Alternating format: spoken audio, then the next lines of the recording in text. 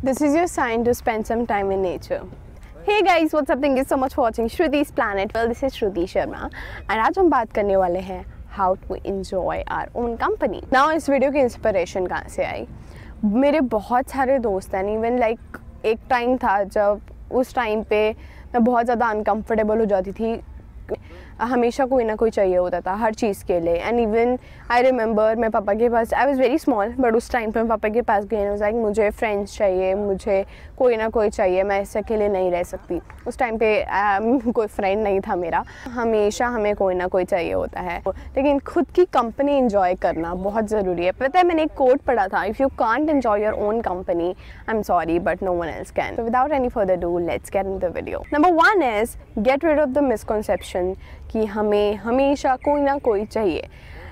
It's okay okay अगर आप अकेले, क्योंकि बचपन से लेकर अभी तक लाइक कहीं ना कहीं हमारे माइंड में ये रखा गया है कि अकेले नहीं रहना चाहिए। कोई ना कोई हमेशा किसी के साथ जाओ आओ, किसी के साथ कुछ करो, किसी के साथ खाना खाओ।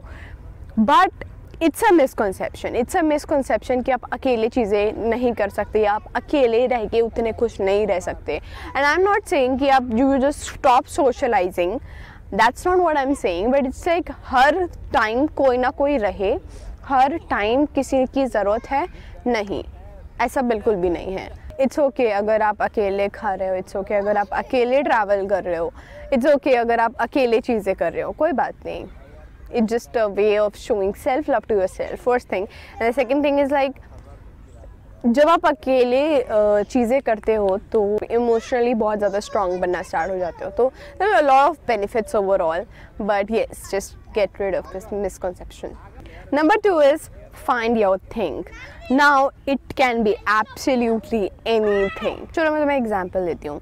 जैसे कि मेरे लिए है आ, मुझे डांस करना बहुत पसंद है। तो जब भी मैं बहुत ज़्यादा खुश होती हूँ तभी मैं डांस करती हूँ मैं बहुत ज़्यादा दुखी होती हूँ मैं तब भी डांस करती हूँ। मेरा कोई भी मूड हो मैं डांस ही करती हूँ।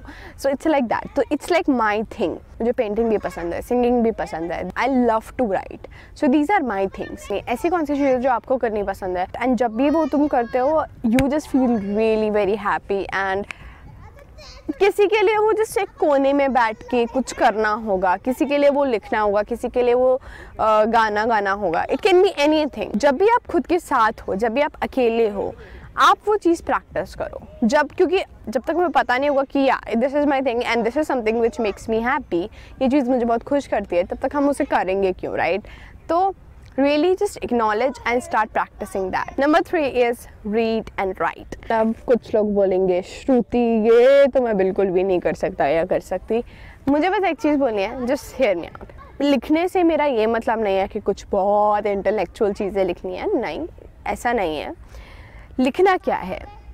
जो भी माइंड में चल रहा है लिटरली जो भी माइंड में चल रहा है, कुछ अच्छा हो सकता है, कुछ बुरा हो सकता है, कोई ऐसी मेमोरी हो सकती है जो तुम्हें अभी तक परेशान कर रही है। कोई ऐसी बात जो परेशान करे जा रही है बार बार माइंड में आ रही है एंड तुम उसकी वजह से डिस्टर्ब हो रहे हो। या फिर कोई ऐसी चीज़ है जिसकी वजह से, जिसको लेके तुम बहुत खुश हो and just write that down like it can be absolutely any कुछ भी हो सकता है but start writing your feelings down अब आप बोलोगे कि लिखने से क्या ही हो जाएगा? क्यों लिखूँ मैं? इवन लिखना इज़ द थेरेपी जब हम लिखते हैं तो हमारे अंदर के इमोशंस रिलीज़ करने में हमें मदद करता है।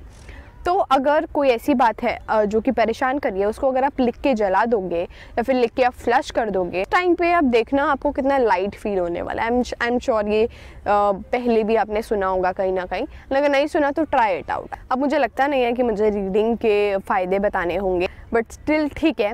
जब भी आप कुछ पढ़ते हो ना तो आप उस चीज़ में एंटर कर जाते हो। It's like it's a whole new world वो एक अलग ही दुनिया है। You will be like oh Shruti well I am not a very big fan of self help book and I understand it's okay self help book नहीं पसंद है। कोई कॉमिक पढ़ सकते हो कोई फिक्शन बुक पढ़ सकते हो but just start reading because first thing it's gonna improve your vocabulary so much and पढ़ते पढ़ते एक जो चीज़ मैंने अब खुद के अंदर नोटिस करी इट्स लाइक like, मैं और भी अच्छी तरह से खुद को एक्सप्रेस कर पाती हूँ। एंड उसने ऑब्वियसली मुझे बहुत कुछ सिखाया है। So yes just start reading and writing और इसी के साथ let's come to number four and that is get a digital detox baby. कुछ टाइम के लिए अपना फ़ोन लैपटॉप जितने भी गैजेट्स कंप्यूटर सब साइड में रखो. एंड या तो आप अकेले बैठ के खुद से, खुद के साथ बातें कर सकते हो. कुछ लोग बोलेंगे, चल श्रुति, ऐसा थोड़ी होता है, पागल है क्या? But for once try it out खुद से बातें करना कि, भाई, तुझे क्या फील हो रहा है? ये जो भी लाइफ में चल रहा है, उसको लेके क्या फील हो रहा है? हँसी भी आ सकती है, रोना भी आ सकता है, बहुत सारे इमोशंस आएँगे। बट ओवर टाइम तुम्हें मज़ा आने लगेगा। एंड तुम इस तरह से खुद को बहुत डीपली समझ पाओगे कि लाइक तुम क्या सोचते हो? तुम्हें क्या पसंद है? तुम्हें क्या ना पसंद है? एंड जब तक हम खुद को नहीं समझते, हम किसी और को भी नहीं समझ सकते। हम एक्सपेक्ट करते हैं कि लोग हमें समझें बट जब तक हम खुद को ही नहीं समझते, हम किसी कि हम एक्सपेक्ट कैसे कर सकते हैं कि वो हमें समझे राइट एंड हम एक्सपेक्ट भी उनसे करते हैं कि वो हमें समझे जो कि खुद को ही नहीं समझते। सो यू नो सो ये चीज़ हेल्प करेगी खुद को समझने में। But yes get a digital detox चाहे वो फिर दिन में लाइक like, दिन में एटलीस्ट दो से तीन घंटे ऐसा होना चाहिए जिसमें कि आप फ़ोन अपना यूज़ नहीं कर रहे हो आप कुछ भी यूज़ नहीं कर रहे हो एंड आप जस्ट खुद के साथ हो। So yes just take out some time and spend time with yourself number fifth is last but not the least give it a shot आप फिर वीडियो देखी, बंद करी एंड देन यू लाइक हाँ ठीक है, कभी और. But I just want to say just for once give it a shot में से कुछ भी जो भी आपको लगा कि हाँ चल, ये करने में मज़ा आएगा। जब तक आप वो चीज़ ट्राई नहीं करोगे, आप उस चीज़ को जान नहीं सकते, आप उस चीज़ को एक्सपीरियंस नहीं कर सकते कि हाँ वो लगेगा कैसे उस वक्त। एंड अगर अच्छा लगे so you know just keep on doing it but हाँ खुद के साथ टाइम स्पेंड करना सच में बहुत इंपॉर्टेंट है, क्योंकि उस टाइम पे आप खुद को जान पाते हो बहुत अच्छी तरह से एंड आप खुद के साथ कनेक्ट कर पाते हो। जिसके साथ तुमने अपनी पूरी लाइफ स्पेंड करनी है दैट्स यू अगर तुम उसको ही प्यार नहीं करते, उसके साथ ही कंफर्टेबल फील नहीं करते तो you know life can become really frustrating so हाँ that's all about today let me know in the comment section कि कौन सी चीज़ पसंद आएगी if you like this video make sure it's a big fat thumbs up I upload videos every Saturday and subscribe to my channel and ये video किसी ऐसे इंसान के साथ शेयर करो जिसको हमेशा कोई ना कोई चाहिए होता है या फिर वो बहुत अलोन या लोनली फील कर रहा है।